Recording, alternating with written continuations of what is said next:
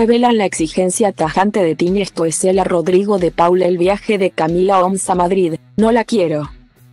Tini Stoessel mantiene su furia con Camila Oms, la expareja de Rodrigo de Paul y madre de los dos hijos con el jugador de fútbol. Al punto que, dada la cercanía del viaje de los nenes a ver a su padre a España, la intérprete le puso una particular condición a su pareja, a fin de evitar que OMS pise tierra europea. Hay mucha especulación en relación al viaje de Camila OMS y quiero aportarles un dato que es clave en esta historia. Arrancó Juan Etchegoyen en su vivo de Mitre Life, sobre la especial condición que puso Data Data Tini. Una de las artistas pop más queridas, sobre el viaje de la mamá de los hijos de su novio a Europa, en las Data Data próximos días. Me contaron que Rodrigo de Paul no querría que viaje su ex bajo ningún punto de vista. Está todo en el peor momento pero hay un acuerdo que cumplir, continuó relatando el periodista. Sobre la tensa interna que hay entre el jugador de la selección argentina actualmente integrante del Atlético Madrid y la modelo, con quien se separaron el año pasado. El tema acá es que todo esto se habría complicado por expreso pedido de Tini Stoessel.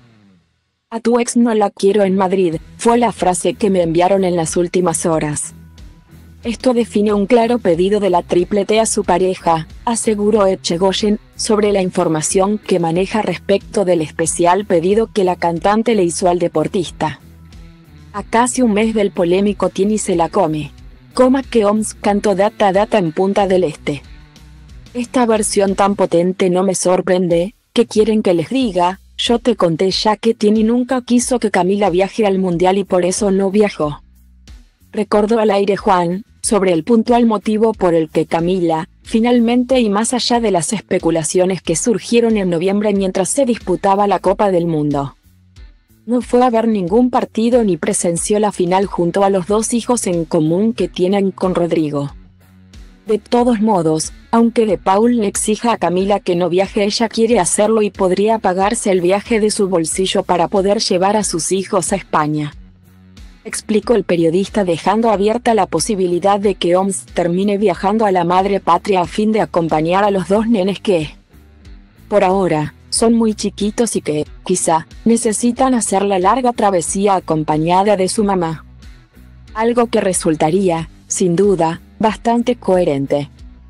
Habrá que ver si, en las horas que restan para que los nenes Francesca y Bautista se tengan que subir a un avión con destino al viejo continente.